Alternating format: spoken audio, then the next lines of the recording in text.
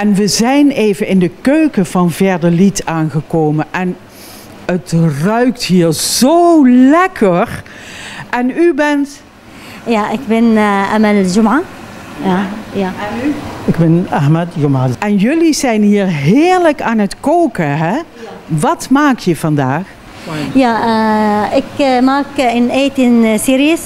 Series, series eten? eten ja. Uh, deze in kubba. Kubba deze. Ja. En deze vlees met borgol. Ja. En, uh, val, in deze valnoten? Met gehakte vlees, ja.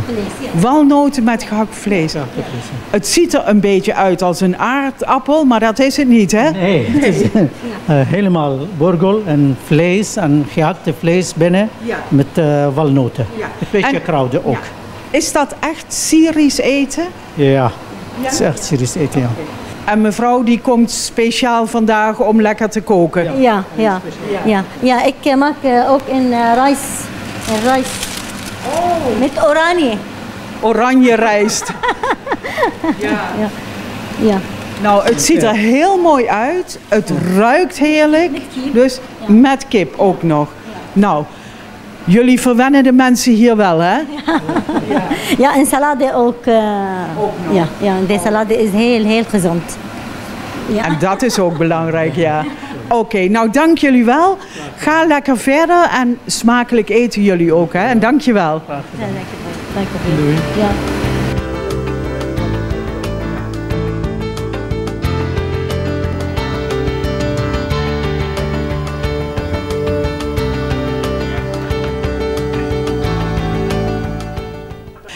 En ik heb even iemand van het werk gehouden.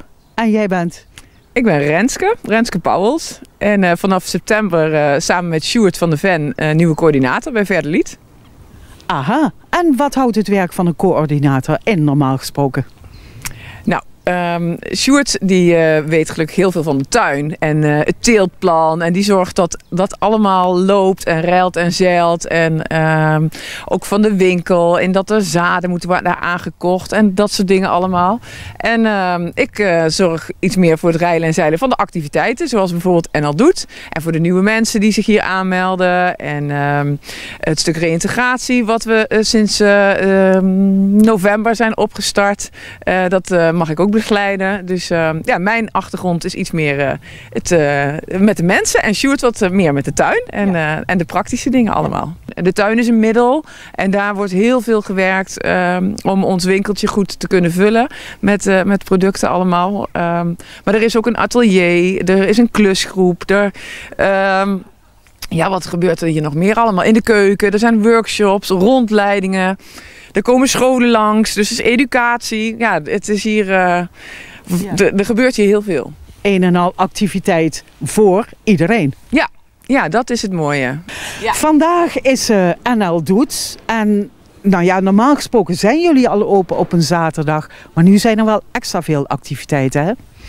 Ja, we maken vandaag wel uh, heel erg gebruik van NL Doet. Want er komen bijna 38 mensen komen er uh, helpen vandaag. Dus ook allemaal mensen van buitenaf. En uh, familie en vrienden. En nu kan er heel veel gebeuren. Ter voorbereiding van het nieuwe seizoen. En omdat Verderlied ook veel groter is geworden. zijn bijna nu nou in ieder geval ruim 100 vrijwilligers.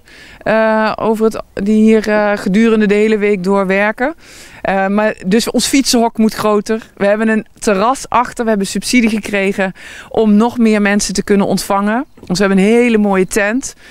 we zijn aan het bouwen ook... Um, om een, soort, om een overkapping te krijgen, dat er daar ook workshops kunnen worden gegeven.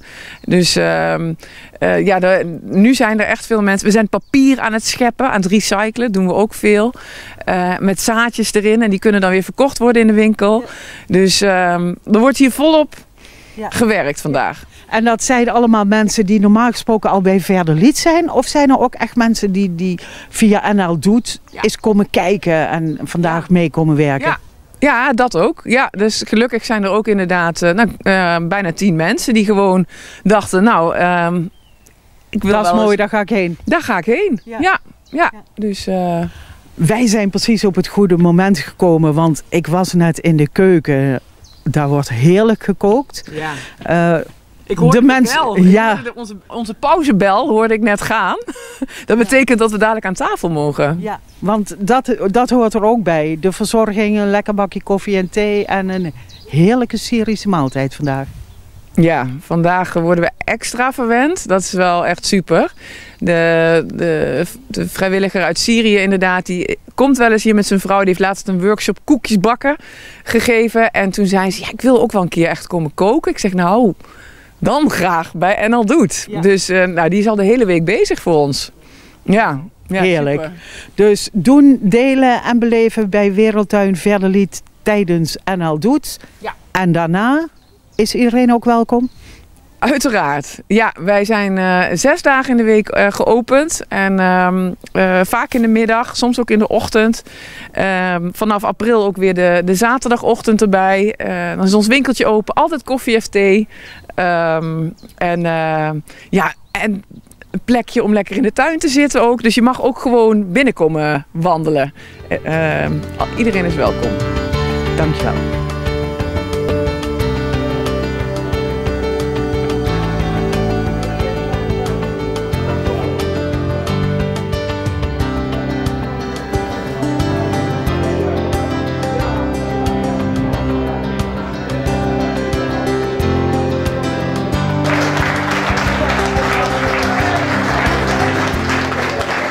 Jullie het graag. En mijn vrouw is, mag alles, maar ik alleen voor haar help. Ze maakt mijn, mijn reden en ik alleen werk. Ik weet niks, ik weet niks over koken. Maar altijd een smaak.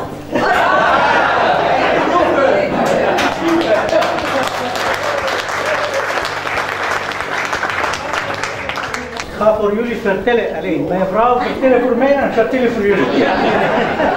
ik, weet, ik weet niks oil. Ja. Eh, en deze rijst. Bijzonder rijst, een soort uh, basmati rijst, India rijst. En deze heeft gedacht. En eh. Ja. En deze eh, ja. kip. Ja. En salade. Dit is toch in Syrië geworden. Danke schön.